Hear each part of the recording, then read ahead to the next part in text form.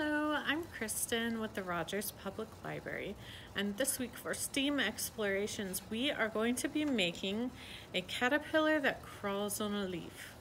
So in your craft packet you'll have a tiny dowel rod, a piece of a pipe cleaner, two little googly eyes, a leaf shape, and a rectangle.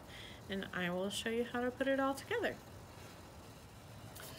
To begin, we're going to take our little rectangle of paper here and our dowel rod, and we're just going to gently wrap our paper around the dowel rod, and then you can go ahead and take it out and just roll it the rest of the way up. Then we're going to glue it shut. So once it gets rolled most of the way, we can just put some glue along the edge and then roll it the rest of the way up press down that seal and then we still are going to have a hole that our dowel rod can fit through.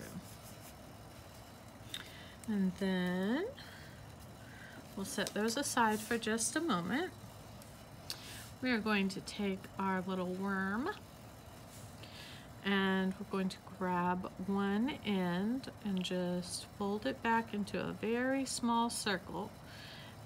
And then we're going to roll it back a couple of times.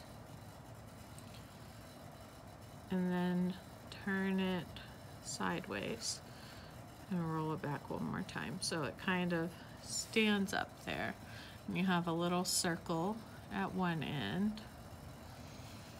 And then we can shape the rest of it to be like an inchworm, inching along. So we want a little flat bit at each end. And then a little hump in the middle. Now we're going to take our googly eyes and they should peel the backing off so that you can just stick them on, but you can also use glue if you need to. But you should be able to just peel that off and stick them right on there.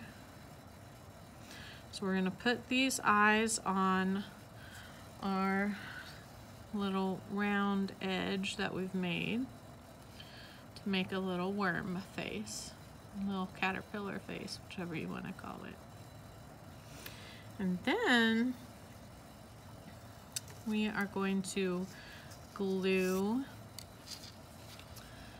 the head of the worm or a little flat end up here to the end of our dowel rod. And then we're going to glue the flat end at the back onto our green paper like this. Now, you can use whatever kind of glue you would like to do this. I'm going to use hot glue just so that uh, it doesn't have to dry very long and I can show you what it looks like and how we move it. But you can use any kind of glue that you want. Just, you have to leave it long enough to dry. So I'm putting some hot glue on the edge of my dowel rod and then adding my little worm.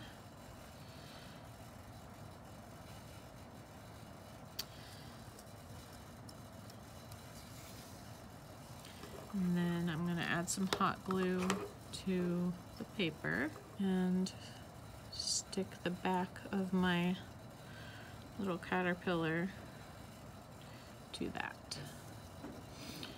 Now, whatever kind of glue you're using, you just have to let this dry.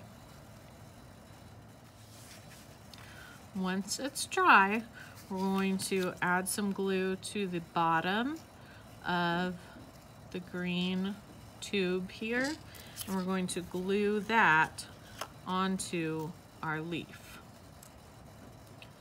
So we'll just glue the tube straight onto the leaf, not any part of the dowel rod, just our green tube.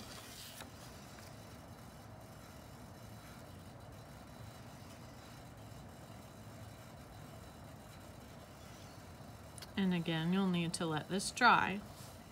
Once all your glue has dried, You can see our worm looks like he's bent right now. And as we pull the dowel rod back, he squishes up even more. And as we push it forward, he stretches back out. You can stretch him out all the way or just a little bit.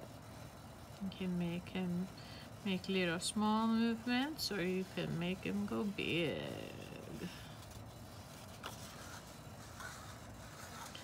And that, our little inchworm or caterpillar on the leaf that can move around with the little googly eyes, is our STEAM craft for today. Thank you so much for joining me and I will see you next week for another STEAM Explorations. Bye!